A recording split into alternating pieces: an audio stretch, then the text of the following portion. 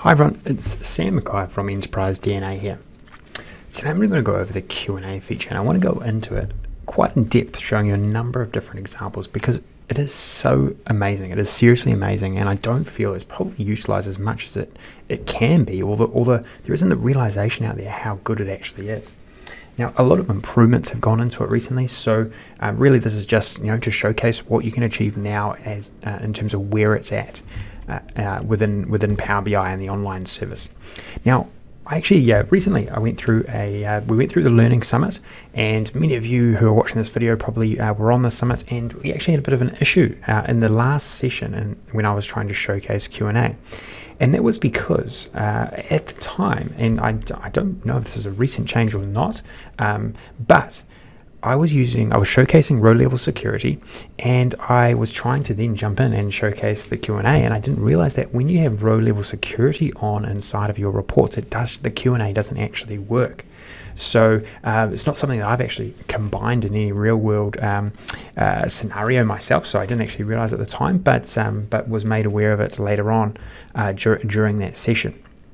Now, this is just uh, an opportunity to pick up where where we left off really at that time, um, and to actually really spend a bit of time showcasing the Q and A, because as I say, there's so much you can do there. Now, we've got a pretty detailed report here, and I always say with with Q and A, the, the, the key thing to note is that Q and A will just not work if your model is not built well. So that's really the key. That's really one of the keys to actually get it working well. Um, and there's just no way around it. The, the it's not smart enough to just be able to read your data and and um, you know just know stuff. You need to name things well. You need to have good measures uh, that are also named well. That are, that are you know calculations are optimized, etc., etc. But it is amazing. Once you do that, it's amazing what you can achieve.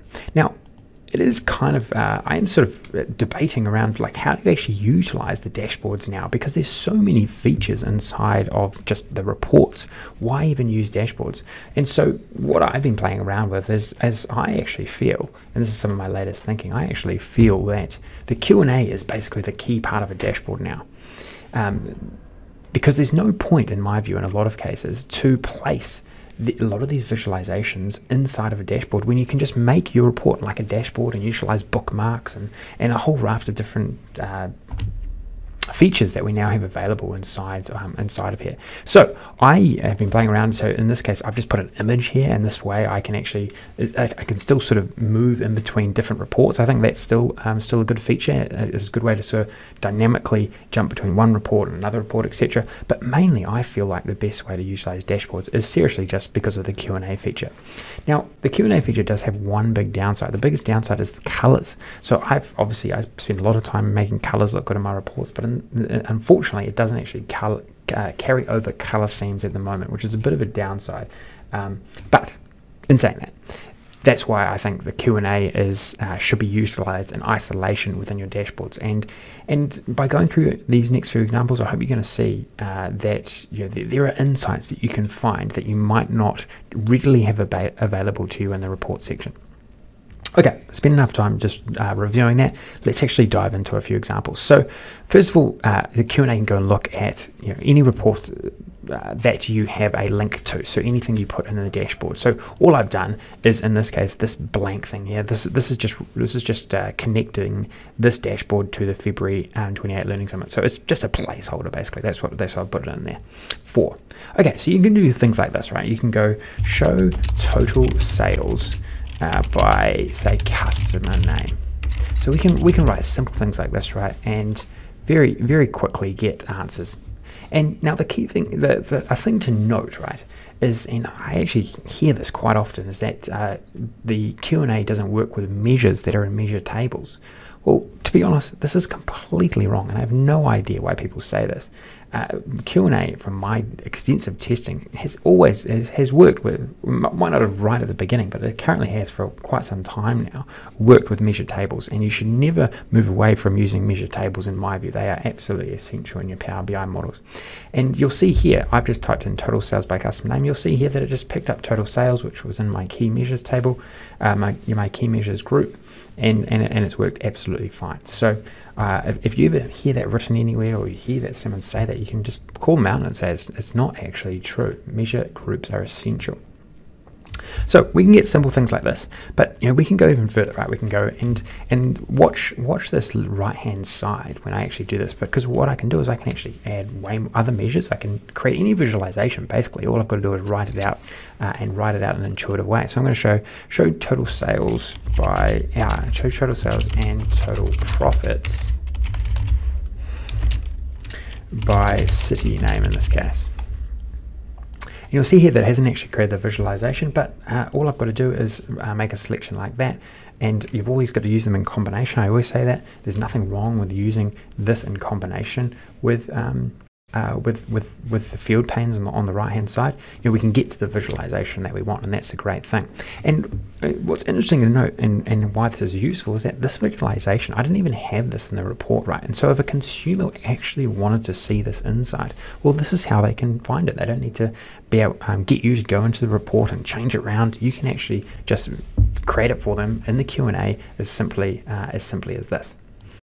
Now, I want to show you that you can get incredibly advanced in the Q&A, right? Incredibly advanced. And I'm going to show you in an example um, based on what I uh, showcased during the Learning Summit. So in the Learning Summit, we had a uh, quite a complex, I went through quite a complex example of a customer segmentation. And the formulas that go into this are quite advanced. So as you can see here, know, I won't run through it, but this is this is an advanced formula. I mean, this is this is sort of getting up there in terms of advanced DAX, etc. But check out, we can actually call these formulas inside inside of the Q&A and pull up visualizations exactly like we have inside of our Power BI reports. Um, uh, even with these really advanced formulas, the internal engine inside of Power BI Online, you've got to remember this is web based, is actually going through and doing these calculations based on DAX. It's absolutely incredible. So, what I can do here is I can go show um, profits by custom grouping. So, this is the name of the measure. So, I've named all my measures quite. Um, uh, quite effectively, right? So profits, actually, I gotta type that out, right? Profits by custom grouping versus margins by custom grouping um, per customer as scatter charts with legend customer grouping. So as I was typing that out, I see here that it hasn't actually uh, created it exactly. And so I just got to keep typing around and, and, playing with it and making making sure that it actually, well, this is why it's not because I've, I've typed it in wrong here, unfortunately. So this is actually custom grouping. So let's see if that fixes that. Okay, so that's worked better and then I've typed in this wrong as well. So you'll see here that I just sort of play around right? I play around. Um, you can see that it wasn't actually picking on the on the right hand side. It wasn't actually picking up the correct uh, the correct elements or, or correct filters and, and measures etc because I was uh, typing them in wrong. But when I type them in right all of this right this is this is basically reflecting that really intensive calculation of customer segmentation well I was able to recreate it um, just by referencing the measures and the correct filters inside of, in, inside of Q&A. It's amazing, right? And you'll see here that it's gone and picked up um, on the right hand side here, it's picked up the segmentation, uh, segmentation formulas, done it all virtually. Incredible stuff. Okay, so that's another example. And so this is this is really showcasing how far you can take it. Now, uh, I'll show you, I want to show you another thing, how, how you can uh, create uh, or get information really quickly, right? Really quickly that um, you also might not be in your report and you might want to be able to sort of download it or, or get it into get in, into a format that you can showcase on a big screen or something like that. So I can go and say something like show as table, um, show, I go show in in a table total sales, total profits, total uh, profit profit margins per customer in year 2017 and that hasn't worked out so I need to go uh, where actually I need to go where year is 2017 I believe that's right. Okay. So, uh, so what? So, so total sales, total profits. I need to turn it to total profits per customer.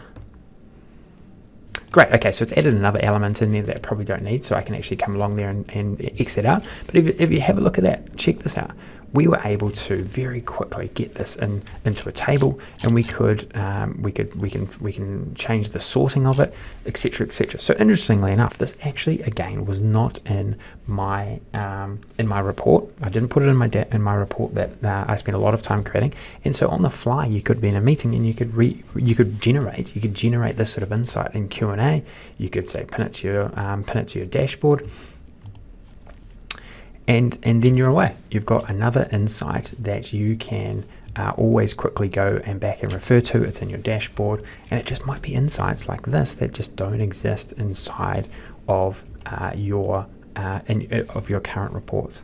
And again, so the measures were just very neatly um, you know, organized across all my different uh, measure groups, and I was able to just call upon them and you know, put them into any visualization that I wanted, basically. Now, you will run into a few times where it might not work out exactly how you think. Uh, or, uh, you know, in terms of the visualization you're getting, there might be wrong filters placed on, you know, especially around dates, etc. But um, but all I would say is that I wouldn't be too worried about it. If you've set up your model well, you can easily go and um, use in combination, you know, all the different. Um, uh, you know, uh, selections you can make on the right hand side, bring them in, change them around. So you can always get to the result, right? You can always get to it and um, you know it's just a matter of sort of trial and error. But you know, honestly, it's it's gotten very it's very very effective the Q and A, right? And I can really see applications for it now, where in the past maybe not so much. But this is this is really sort of for ad hoc analysis, being able to reach back into very unique and specific things um, that uh, that you might not have in your reports, and you can throw them on a dashboard, and then they're going to be in your meeting. They're going to be there uh, in a way that you can reference down the track. And you know, the future, I believe, is very very exciting. I feel like the Q and A is going. I, I truly believe the Q and A uh, and uh, is going to be able to be called via Cortana, so voice activated.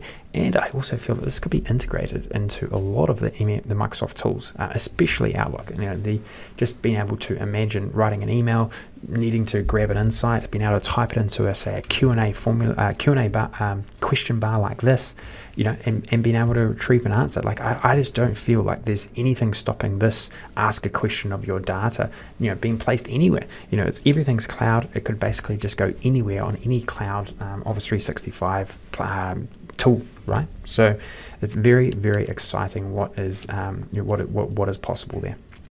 Okay, so this has gone on quite a long time, but I did want to cover a bit because I missed it in the uh, Learning Summit, and it's so exciting what can be achieved here. I mean, I'm just a huge, huge fan of Q&A. If you use it effectively, if you build your models well, there's just uh, you know exponential potential on on how it could be utilized effectively within within your organization. Okay, all the best. Um, you know, look forward to you hearing uh, hearing your comments below. What what do you think? How you're using it? So on and so forth. Um, you know, that that'd be really great. Okay, all the best. Take care. Talk to you soon. Hey everyone, thanks for tuning in to Enterprise DNA TV.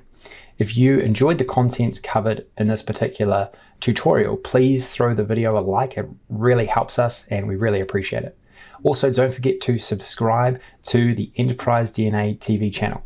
Uh, we have a huge amount of content coming out all the time from myself and a range of content creators uh, all dedicated to improving the way that you use Power BI and the Power Platform. Lastly, check out Enterprise DNA's website, plenty of resources and further learning that you can access very easily. All the best. Take care.